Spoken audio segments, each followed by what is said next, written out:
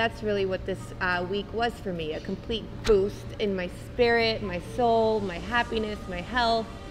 And I brought my dad here for the first time and I convinced him to come. So, how has it been for you this week? Absolutely magical. My daughter invited me here.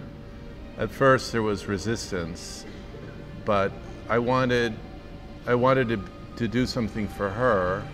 And coming here, I realized I was doing something for me.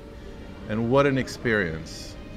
Uh, I'm very new to Naam. I have five days, but I plan to do it for the rest of my life. And I really, I really hope to make a difference.